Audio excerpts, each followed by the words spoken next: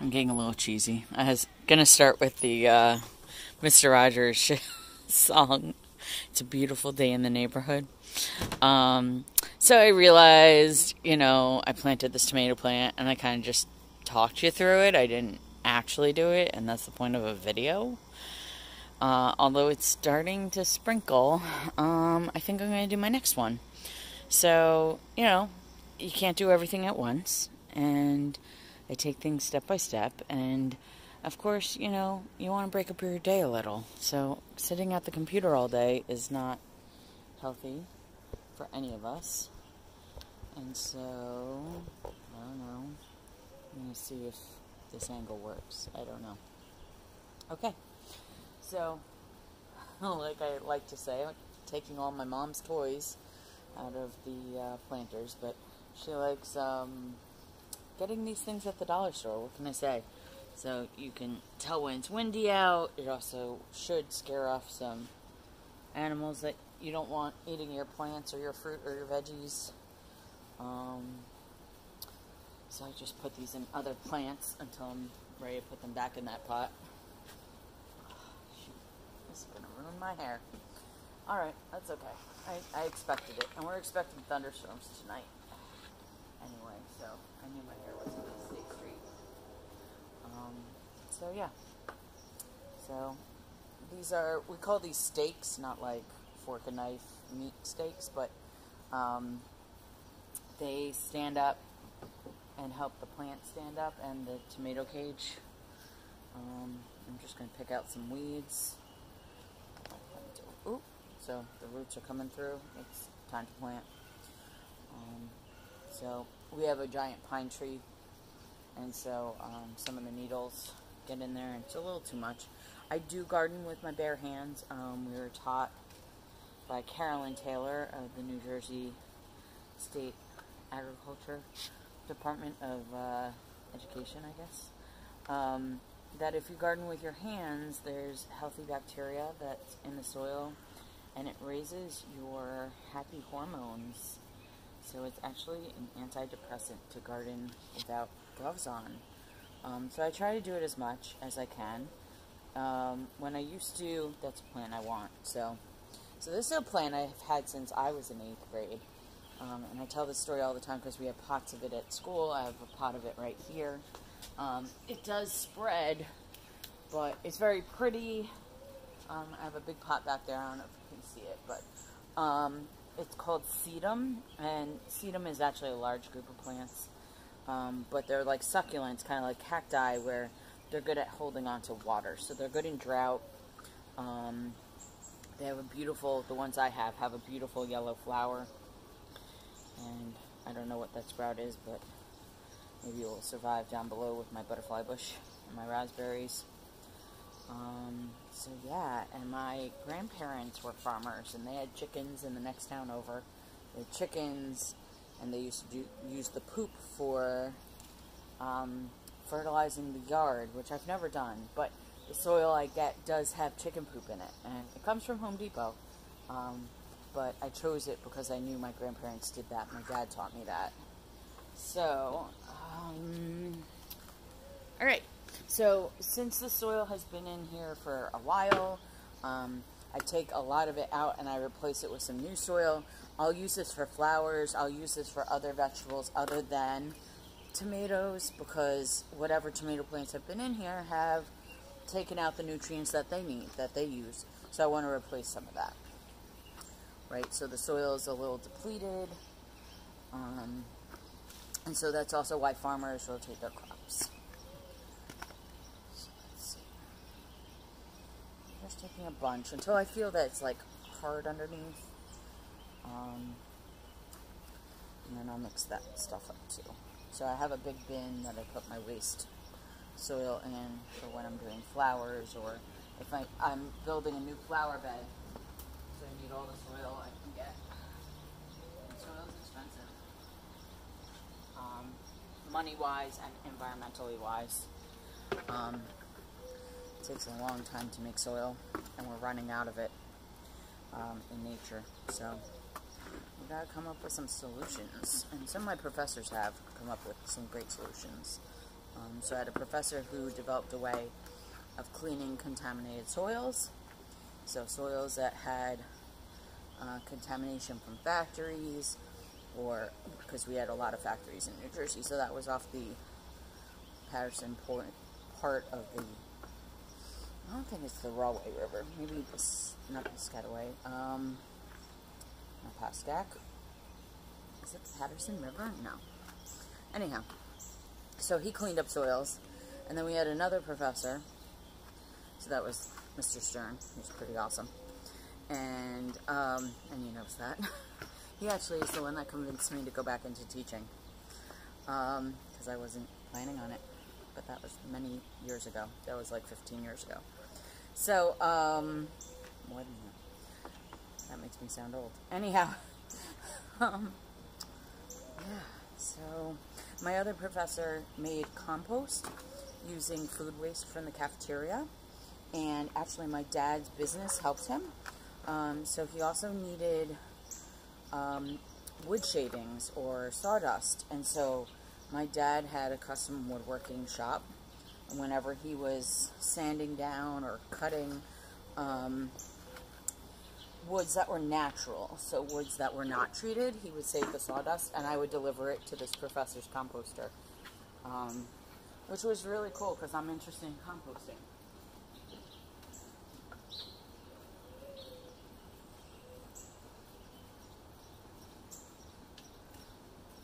So that's pretty good. And so now I'm just going to break this bottom soil up so that there's air pockets in there for the roots. Um, they'll get something called root rot if they're just sitting under like soggy, watery, logged soil. And I try to get to the bottom so that way I know I did a good job of mixing. So, as we know, plants need CO2 and water, and that needs to be in balance. And some plants are very happy underwater, but these are not that type of plant. Right? The plants in the fish tank don't need soil.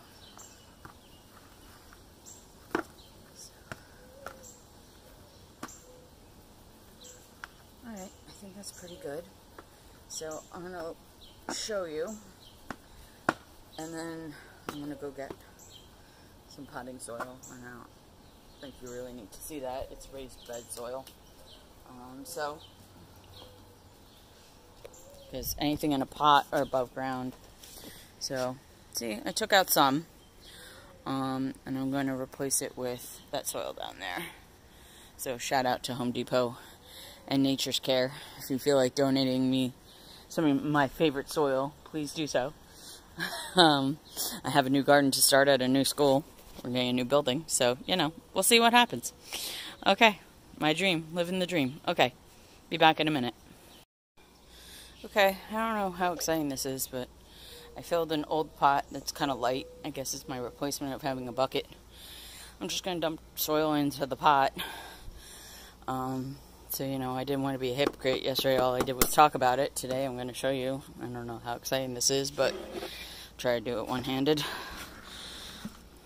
So, there we go. I need another bucket full to get to the level that I want. Right, I'm breaking up the clumps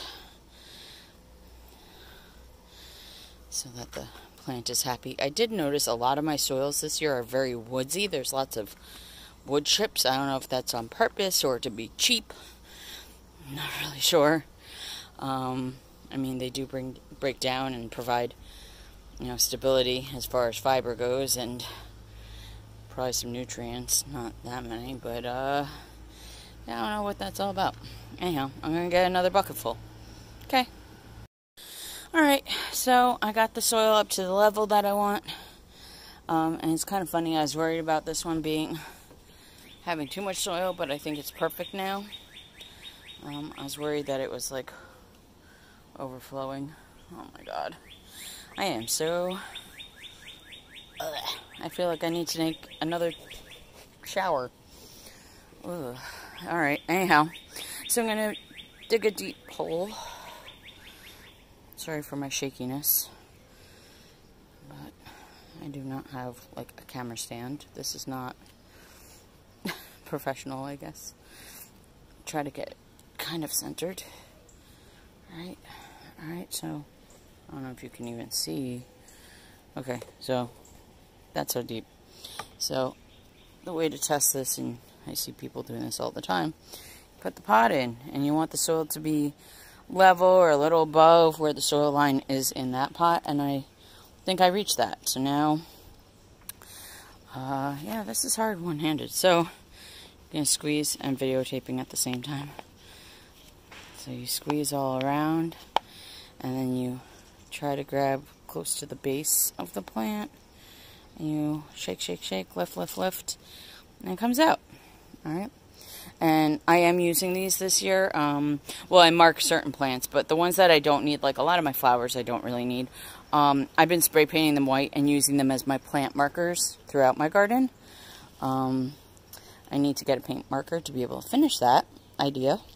Um, so I stood it up straight, right? Some people break up the roots. Um, I feel like they're going to do that on their own. They're going to seek out um, where there's water. So I start at the bottom, put a bunch near the bottom, sorry, the soil. Um, I just noticed there was a dead leaf, so I'm just going to throw that out into the yard for compost naturally. And I'm going to cover it up with the soil. And my other one, I made a mound this year. I don't know if I've ever done that, but maybe this will do better. So, I think that looks pretty good. Pretty straight, pretty centered. Alright, and so that's it. I'm going to start putting in the tomato cage. Which, by the way, you can use for other plants. I've used it for our raspberries. I've used it for peonies, which are um, a heavier flower. I can show you a couple we have. Um, and we got some new ones this year. And so as the plant grows, the branches will come out of these different sections. The wire will help stand it up and hold any really heavy fruit. Um, I do have mine raised up on a table. Um, that's, and this one on a milk crate, even though I don't think the milk crate will really work. But um, we've had groundhogs that like to eat my tomatoes. So they will come up on the deck and they will climb in and just eat tomatoes. So if I have it raised up, generally this table definitely, it can't climb up. It's not a climbing type animal. I don't think. I think they're more diggers. But this one, I feel like there's enough things that it could, like those, um, the bars on the milk crate, that I think it could actually climb up there. So I might be helping him eat those tomatoes, not these. Um, the ones I planted yesterday were called 100 Sweet. I've been buying those for years.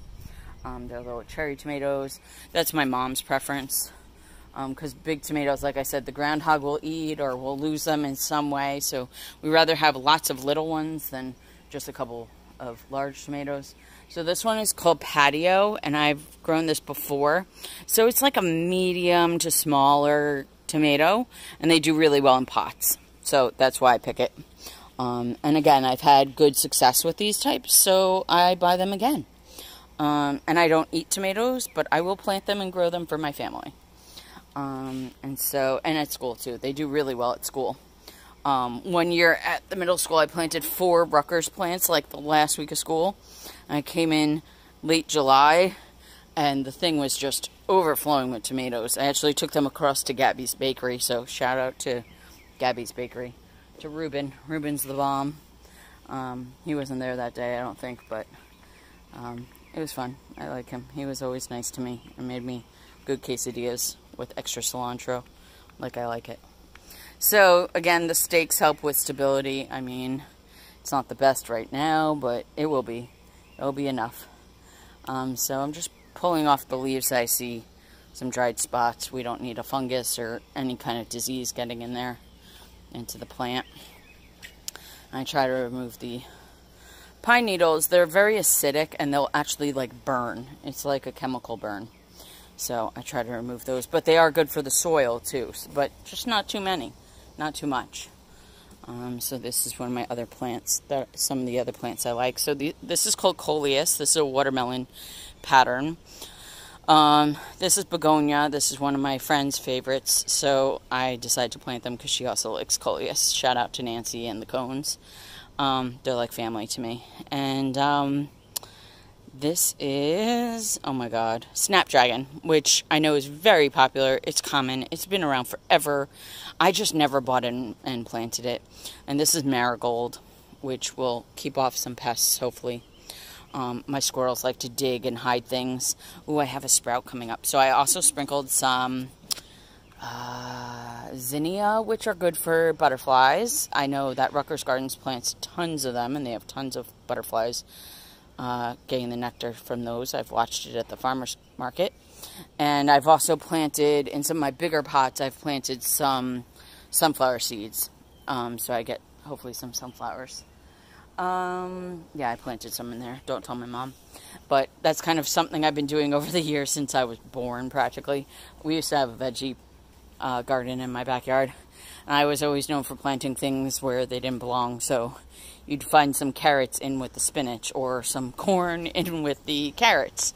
Um, I didn't believe in rows. I still don't believe in rows, I guess. Um, I like, I don't like rows. I like it looking a little natural, a little I don't want to say messy, but I don't like seeing the soil, right? So I want the plants to soak up the sunlight, not the soil. So anyhow, I think I've talked enough. I think I've said some important and good things, and hopefully you got something out of it. Um, and yeah, so like, subscribe, comment, share. Thanks so much. Talk to you soon.